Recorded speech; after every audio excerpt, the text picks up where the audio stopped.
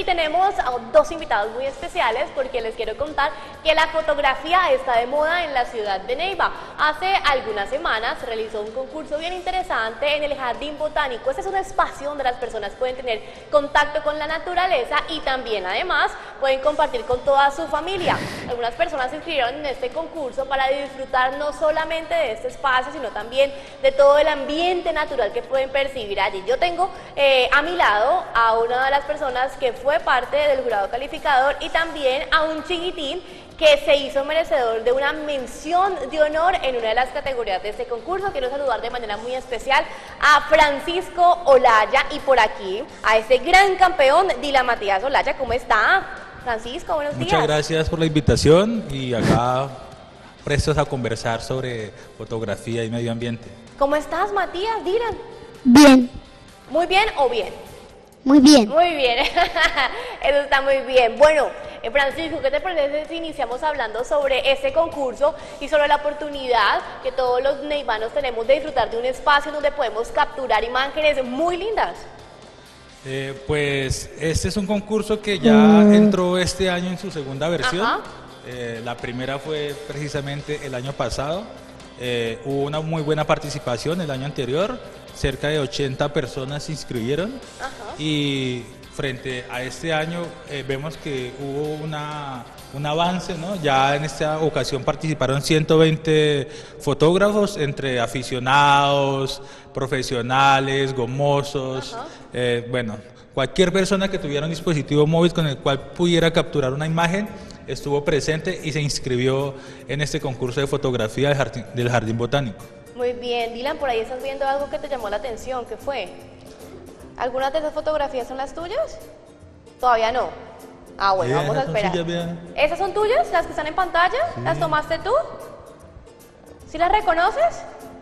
Bueno, mientras tú piensas, yo quiero contarle, contarles a todos los televidentes que, bueno, habían diferentes categorías como tú lo estabas nombrando, pero también los niños tenían la oportunidad de llegar a hacer este arte que les llama mucho la atención, como la fotografía. ¿Cómo fue esto? Sí, dentro de las bases del concurso de fotografía del Jardín Botánico de Neiva había tres categorías. Las tres categorías son juvenil, eh, infantil y adultos, eh, respectivamente, en las cuales pues hubo eh, sus inscritos. en la juvenil, en adultos es donde hubo mayor participación. En la juvenil y en la infantil no fue el mismo número de participantes, pero de igual forma hubo una buena participación. En cada una de las categorías se elegía un solo ganador y ahí resultaron pues las tres personas que fueron premiadas el día... Hace ya algunos días, sí. Sí, el jueves, el viernes, el jueves. el día jueves, sí señor. Sí, el jueves. Bueno, yo quisiera preguntarle a Matías, ¿qué tanto le gusta la fotografía? ¿Cómo te sientes cuando tomas, capturas imágenes? Muy bien. Muy bien, ¿y te gusta mucho o poquito? Mucho. Ah, bueno, muy bien. Y ya más o menos, ¿tú qué recuerdas? ¿Hace cuánto estás ya en ese tema de la fotografía? ¿Y por qué te gusta la fotografía? ¿Quién te enseñó a, tomar fotos? Mi papá. ¿Y quién es tu papá? muy bien, Francisco, ¿qué se siente eh, que tu hijo haya salido con el mismo gusto por el mismo arte que tú realizas? Pues es muy agradable, además que pues, yo nunca lo he orientado por ese arte. Él lo que ha hecho lo ha hecho por iniciativa, propia, porque por ejemplo eh, aprende viéndome ahí en la casa todos los días con la cámara editando, bueno. Entonces él mismo toma la decisión de que le preste la cámara, hace sus fotos, pero nunca ha sido como obligándolo porque yo hago ese oficio que él también haga eso, sino simplemente lo dejo que él experimente y él solito ha ido como puliendo el ojo, eh, sabiendo qué es lo que hay que tomar de ese gran plano que nos muestra el mundo, porque eso es básicamente la fotografía, aprender a resumir eh, todo eh, el, cuadro que nos presenta el mundo, sintetizarlo en una sola imagen. Que, Algo que, no es tan sencillo. Entonces, el poquito a poquito él ha ido puliendo el ojo. Muy bien. ¿Qué es lo que más le gusta de tomar fotos? Cuéntenos, cuéntenles a todos para que aprendan.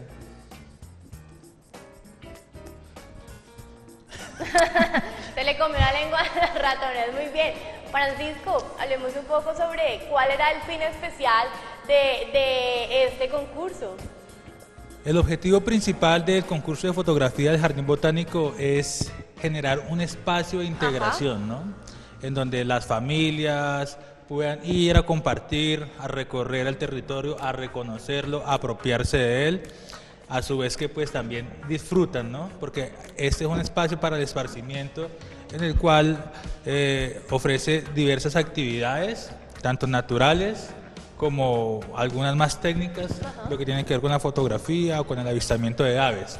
Pero cualquier persona eh, está en la capacidad de llegar allá a dar un recorrido por uno de los pocos escenarios naturales que tenemos en la ciudad de Neiva.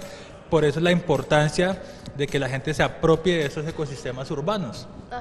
Hay pocos en la, en, la, ciudad de Neiva, ¿no?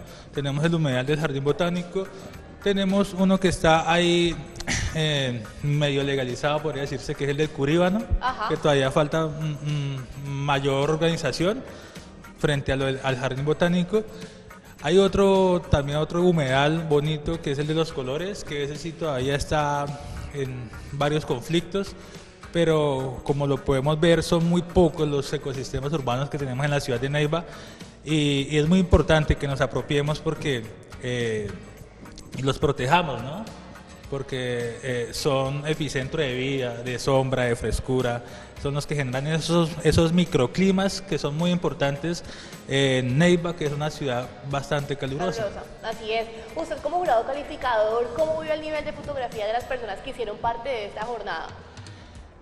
Eh, las hubo muchas, muchas fotografías, eh, eran 120 participantes como lo dije anteriormente, pero cada participante tenía la oportunidad de presentarse con dos, fotografías.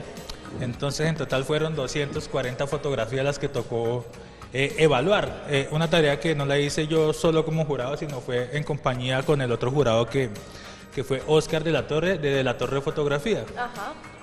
Entonces nos pusimos a analizar las 240 fotografías y vimos que hubo mucha hubo muchas técnicas, ¿sí? Pero predominó dentro de todas esas técnicas, predominaron las fotografías macro, que son las fotografías macro las que nos permiten detallar el mundo de los insectos. Ajá, ok. Entonces hubo muchas... Había una temática específica, ¿no? En este concurso. El eh, eh, era como el eslogan, el humedal es vida. Ajá, perfecto. Entonces sí, hubo mucha, mucha participación de fotografías macro, muchos insectos, libélulas, bueno, mariposas, Seguido a, esa técnica de macro, seguía la, que podría decirse de avistamiento de, aves, ¿no? fotografía de aves, que fue la que le seguía como en mayor participación. Y luego de la fotografía de aves ya teníamos una variedad de técnicas, entre esas paisajísticas, eh, bueno, varias de las otras, otras técnicas que se conocen en el mundo de la fotografía. Pero básicamente hubo mayor eh, eh, participación de macrofotografía y fotografía de aves, lo cual pues también eh, volvía un poco más exigente la tarea de evaluación, porque las fotografías macro muchas son muy similares, ¿sí? no, no alcanza a ver, para uno entrar a definir cuál es mejor que otra tiene que ser muy detallado. Bien, nosotros continuamos en esto que es Entérate con Francisco Laya, que hizo parte del jurado calificador de este concurso de fotografía que se vivió en el Jardín Botánico de Neiva, un lugar que de verdad los invitamos a que lo conozcan porque es espectacular cómo fue esta jornada, pero estamos hablando ahorita de un tema muy importante y antes de irnos con esta información, eh, yo le preguntaba a Francisco sobre cuáles eran esos detalles que hacían eh, la elección para ustedes. Dentro de las bases de la convocatoria del concurso eh, se establecían tres criterios o tres categorías de análisis para las fotografías, que básicamente era la primera alusión al concurso de fotografía del Jardín Botánico que para este llamo se llamó que para este año se llamó un encuentro con la naturaleza. El año el año pasado se llamó El humedal es vida. Ajá. Esa fue la primera categoría de análisis, alusión al concurso. La segunda categoría de análisis era técnica y composición fotográfica. Y la tercera eh, categoría de análisis era el uso de los elementos asociados al humedal. Entonces, teniendo en cuenta estas tres categorías de análisis, pues eh, cuando las, la mayoría de las fotografías cumplían con dos de estas que eran eran que se hicieran alusión al concurso de fotografía y que involucraran elementos asociados al humedal, todas las cumplían. Entonces entraba, tocaba entrar a analizar las fotografías con la tercera categoría de análisis, que era ya la parte técnica y de composición. Entonces en este orden de ideas comenzamos a filtrar, teniendo en cuenta las fotografías que... Eh, tuvieran mayor enfoque, que estuvieran bien enfocadas, que la composición fuera bonita, que hicieran uso, buen uso de las reglas de fotografía, los tres tercios, eh, las líneas del horizonte. O sea que fue complicada la elección, o sea que el nivel de fotografía estuvo muy bueno. Sí, sí, como le digo, es que hubo mucha participación de fotografía macro, precisamente la ganadora en la categoría juvenil y en la categoría adulto fueron dos fotografías macro. Entonces la fotografía macro de por sí eh, toca entrar a revisar, a, analizarlas, a evaluarlas con base ya en elementos técnicos y de composición porque si no resultaría muy difícil saber cuál puede ser la ganadora. Muy bien, pues queremos contarles a los televidentes cuáles fueron los ganadores de cada una de esas categorías y yo por acá los tengo, tengo los nombres. El ganador de los adultos fue César Augusto Rincón, de la categoría juvenil Grace Valentina Caviedes y de la categoría infantil Isabela Leiva Loaesa y quiero detenerme en esta categoría porque bueno, para los niños eh, digamos que ellos lo hacen como un hobby pero bueno, no saben exactamente cuál es la técnica o no entienden un poco más allá de esto. ¿Cómo lograr que un niño capte una buena imagen en tu caso que tienes la experiencia con tu hijo? Eh, como lo decía anteriormente, cualquier persona que tenga un dispositivo que permita capturar imágenes está en condiciones de hacer una buena fotografía. Todo esto es en el punto en el que eh, tengan su mirada de, de fotógrafo, ¿no? Hasta qué punto la tienen pulida. En el caso de, de, Dylan, pues Dylan, él, él, ha aprendido a tomar fotos siempre es desde el finder de la cámara. Ok. Entonces, ¿qué permite uno tomar fotos desde el Vifander que, que se selecciona el encuadre solo cuando pierde referencia del exterior, no como cuando uno la toma sobre la, pantalla digital de la cámara que uno siempre está con, en contacto con, con el... exterior. Mientras que si se mira por el bifande pues eh, resulta un poco más práctico la, el ejercicio de tomar la fotografía. Dylan, Dylan, uno le, Dylan no, no, sabe tomar fotos con, con la pantalla digital. Dylan, ¿y tú te consideras fotógrafo? Pero con el micrófono para que todos los televidentes escuchen, ¿sí? Sí. ¿Y vas a seguir tomando fotografías? Sí. Ah, bueno, pues nosotros aquí en nuestro programa Enterate te queremos felicitar por esa mención de honor que recibiste y también pues a que hagas parte de los fotógrafos tan importantes de nuestra ciudad, además que has aprendido de uno de los mejores, ¿cierto? Muy bien, bueno, vamos a cambiar un poco de tema y antes de despedirlo, Francisco, yo quisiera preguntarle sobre si sabe qué se va a celebrar el día de mañana, un día importantísimo para nuestro país. Eh, sí, es la transferencia, la transferencia de mando de la presidencia. También, muy bien, pero aparte de eso, también ah. hay una fecha muy importante para Colombia, que es el 7 de agosto y que se conmemora este día, pues la batalla de Boyacá y ya como es que la terminación de todo este proceso de independencia. Y nosotros acá en Entérate lo estamos celebrando de la mejor manera.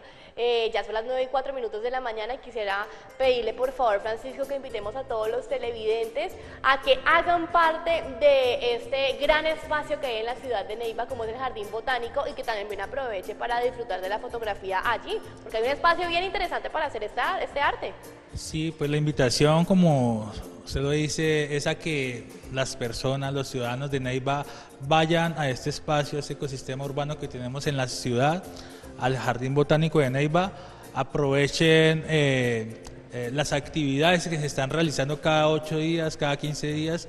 Hay un grupo de de biólogos que trabajan con la Secretaría de Medio Ambiente que están prestos a atenderlos, a, hacerles acompañamiento para que logren disfrutar y apreciar las particularidades de este ecosistema. De igual forma, pues eh, la Alcaldía de Neiva ha venido adelantando acciones con el fin de eh, brindar mayor seguridad en el jardín botánico y está elaborando un encerramiento en todo el jardín botánico que pues eh, posteriormente va creo que va como en la mitad. Una vez ya esté pues totalmente terminado el, encerramiento del jardín botánico, pues va a ser un espacio que va a brindar mayores eh, eh, oportunidades, mayor seguridad para poder ir a disfrutar con mayor calma y con la familia. Tener un contacto con la naturaleza único en este lugar. Dylan, muchas gracias por estar acá. Bienvenido siempre. Te felicito. Gracias. muy bien. Francisco, también muchísimas gracias. Muchas gracias a ustedes. Nos vemos muy pronto. Antes de despedirte, quieres quiera preguntar qué signo del zodiaco eres si crees en este tema. De, ahí